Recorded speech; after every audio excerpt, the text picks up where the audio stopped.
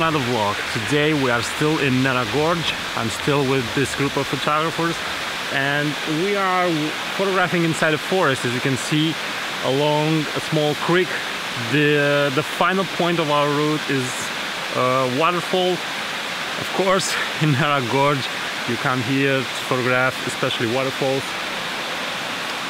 The vegetation looks saturated because it rained all night. I hoped for fog in the forest. Unfortunately, there is none. But as I said, the vegetation looks full, looks rich, looks saturated, so I think it's going to look okay. We're going to have some interesting photos.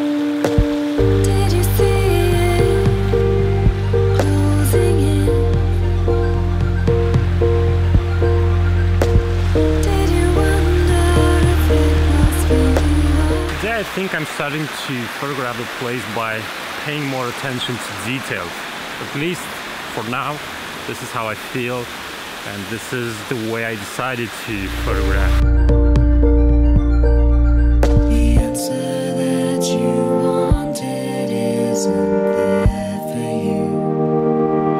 So the first photos that you're going to see are vegetation details and close-ups, but right now I've arrived to this really small bridge and I decided to frame it in some way similar to what you are seeing right now.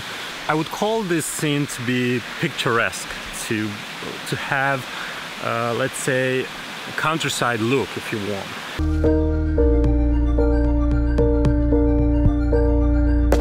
As a general advice, you should photograph always as you are feeling it's not a rule to start with the big picture and then move to smaller details or vice versa. You can photograph whatever is important to you, whatever feels that needs to be photographed. This is at least my way of thinking and doing things. For example, as I'm seeing there, a light at the end of this trail. And I think this also will look interesting. You know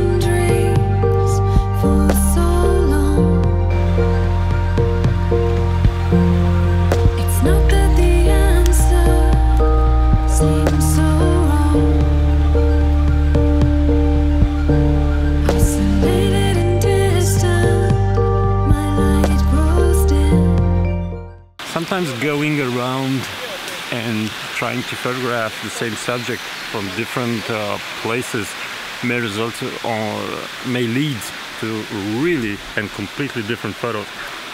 It is the case of this last waterfall where I photographed it from a point and then I moved around it and photographed it from another point. Now I'm standing here and I see another shot. Let me show you. you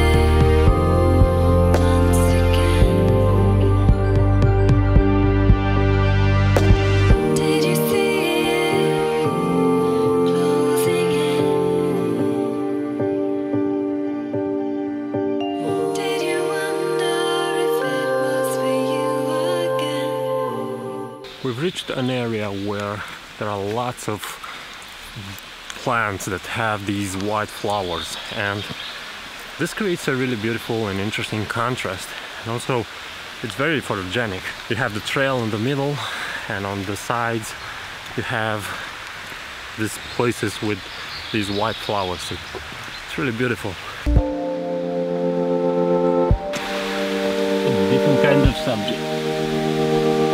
Just have to pay attention and be open to the subject that appears.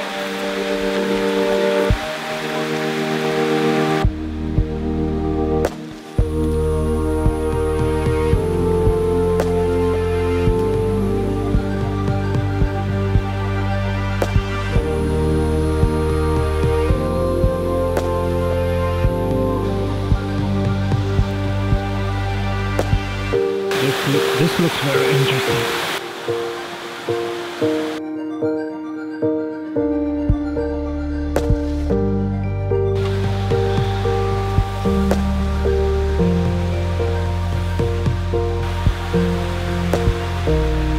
Again, this place presents the same opportunity. Photographing it from two sides gives two complete different photos. And this means exploring the possibilities and exploring a situation or a place until you feel that you've managed to capture all its angle. It's, it's better to reach home with more photos than not to have an interesting photo at all.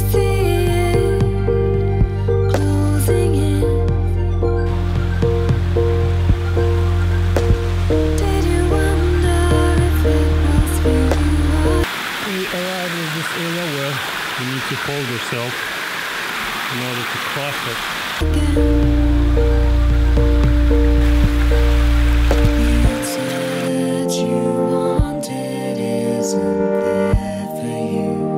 We almost reached the final point of our hike, the waterfall.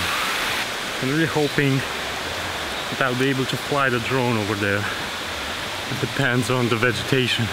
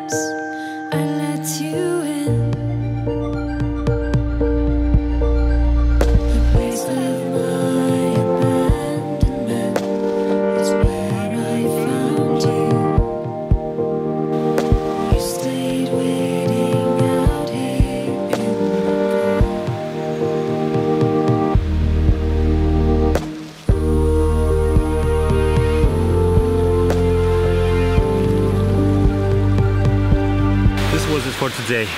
So again, another vlog is ending. We had some great time. We did some wonderful photos, I think. It's time for us to return.